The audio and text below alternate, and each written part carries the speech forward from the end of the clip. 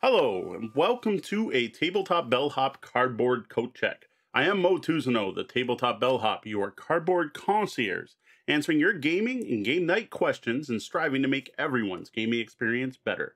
Tonight, we are doing a cardboard coat check. We are going to check this game in, and before we do that, we're going to have to open up the box to see what's in there, just to make sure there's nothing hazardous in there, just to take a peek at what's inside. So we are going to take a look at Lost Cities rivals from Thames and Kosmos, which question for Thames and Kosmos. Why does I always only say Kosmos on your games, not Thames? But anyway, Thames and Kosmos. Uh, this is a review copy. Thames and Kosmos was cool enough to send this to me when I requested some other review games. They were like, hey, is there anything else you want to check out? And Deanna and I are a huge fan of the original Lost Cities, which we used to play a lot downtown Windsor.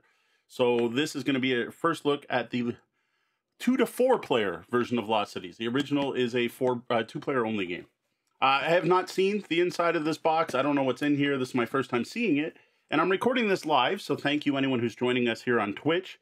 Uh, so you can see my see and hear my thoughts live as I see this game for the first time, same as you're seeing it.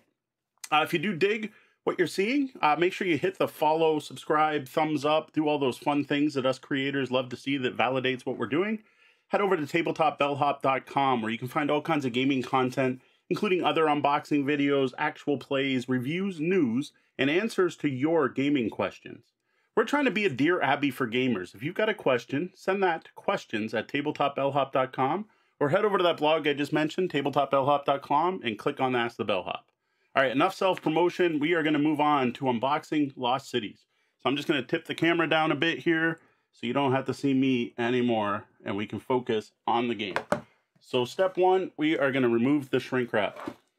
I am just using a hobby knife for this just because it's going to make things a little bit quicker. So Lost Cities, Rivals. Use your cards to venture down expedition routes and take you to far-flung and mysterious corners of the earth, to an abandoned mountain temple, a decaying circle of stone, a city sunken under the sea, an ancient Stone Age settlement, and a town inside of a mountain. Your goal is to plan the routes in such a way that they bring you the greatest possible fame. And if you're especially daring, you will also be able to wager on the success of your own expedition. But watch out, you're not the only one traveling. Which routes will you pursue and how much gold is it worth to you? Plan well and use your resources widely. Only the player who has collected the most fame at the end of the game is the winner. For 2 to 4 players, ages 10 and up, 40 minute playtime, strategy 2 out of 5, luck 3 out of 5, bidding 5 out of 5, wagering 5 out of 5. So a quick look at the back of the box here. And I think for the next video, I will do that before I tip the camera down. So here's what we have in the box. We start off with a rule book. We're going to take a quick look. It's fairly thin. We are looking at a grand total of seven pages. No cover. I see lots of color art. I see black text on light backgrounds. That is something I am always a fan of. But examples of cards. Got some nice looking boxes here.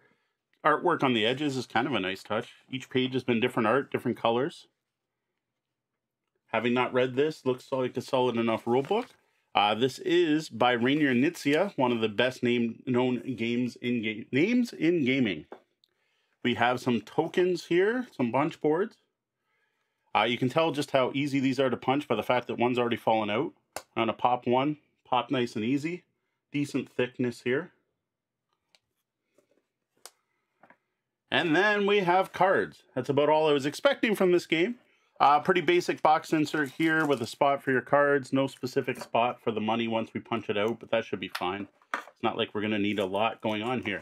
So we are going to open up the cards since this is a card game, and I'm sure you want to see what's in here because there's not going to be much else to look at. So again, I'm just grabbing my hobby knife. Uh, there does not seem to be any like cigarette pack. Oh, there is. There is an easy to open. Oh, there we go. Didn't even need the knife.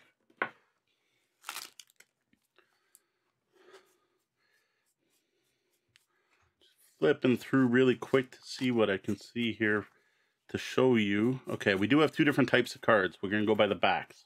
So we have a one card, which I am assuming is some type of first player card. Two-sided. We'll toss that in the box. We have a bunch of brown cards here.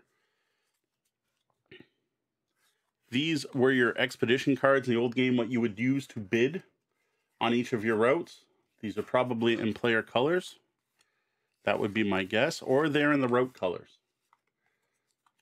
There are two in each color. Then we will have, then we have more that aren't color coded. So, so we have the similar symbol here. We have three blues this time. Then we should have numbered cards in blue. I'm going to slide through these pretty quickly because art's fairly nice for what it is. We got some glare there. Let's try not to get the glare. Underwater shot there with some fish. We got, oh, I like that. Not all the numbers are the same. You got like a Poseidon statue here to explore. The 10. So each of those numbers is different. So it's not like all the blue cards are the same. Uh, we're now moving on to the green cards. You got some forested areas. There's symbols on the bottom, which I think is going to be well appreciated by colorblind friends. So not only are the cards colored, there is a unique symbol on the bottom of every card. I dig the artwork for what it is, right? It's it's sites you're exploring. What do you expect in a card game about, you know, archaeology and site exploration? There's no fantasy elements to this game. Shouldn't see any dragons or anything. So we have some caves, some cave paintings. We're obviously in like a desert or sandy terrain at this point. We have our first person in a picture.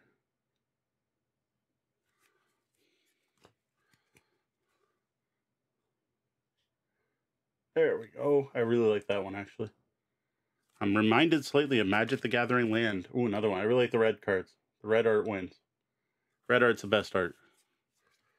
I don't know what the footprints are at the top. That is something that's definitely different from the original game. Oh, I like that one too. Yeah, the red art. Red art for the win. If I was playing this game, I'd have a hard time not focusing on red. Gray, bleak statues, lots of stone, a rope bridge that's crumbling. Uh, this is cool art. The, the further I go, the cooler the art is. You got someone actually mountain climbing. Card thickness is decent. Um, these are not varnished in any way. They're not overly slippery. Uh, for those of people who have watched some of my other videos, I've complained about the cards being overly slippery. They, they stack nice. They're not linen finish or anything like that. They don't have any like texture. They're just smooth. Pretty much standard card width. You can kind of see that there. There's a significant number of them, obviously. Rather large deck. Because you got numbers 1 through 10 in each suit and multiples of some of the numbers. Like, it looks like there's two twos in each deck. There you go. That's it. Not a lot to see in Lost Cities Rivals. I'm really hoping though, because Lost Cities is one of my favorite two-player games of all time, that the gameplay is going to stand up. That you don't need fancy components for a good game, and I'm hoping this is a good example of that. So that is Lost Cities Rivals from Thames and Kosmos. All right, I don't have a lot more to say on this one. Uh, small box game. I don't know the MSRP offhand, but I know it's not huge a two to four player version of Lost Cities, which is a really neat card game, math based, trying to predict what your other players have, some card counting involved, push your luck elements. Really dig it. Looking forward to checking out the fourth four player version of this. Components are what I expected. You've got some chips, which are interesting because the original game didn't have any money or monetary components. So you got some, it looks like gold coins. And then you got a bunch of cards. Not much more than you would expect from a game like this. And component qualities, excuse me, the component quality is just just as good as I expect. So that's it for today's cardboard coat check of Lost Cities from Thames and Kosmos. Be sure to check out my YouTube channel for other unboxing videos as well as actual plays as well as reviews. And in the coming weeks, you'll probably see a review for Lost Cities if it's not live already. Also, be sure to check out tabletopbellhop.com for all kinds of other gaming content. And if you like the content you've just seen or the other stuff you see on our sites, head over to patreon.com slash tabletopbellhop and consider tipping the bellhop. For Tabletop Bellhop, this has been a cardboard coat check. I am Moe Tousignant, the Tabletop Bellhop. Good night and game on.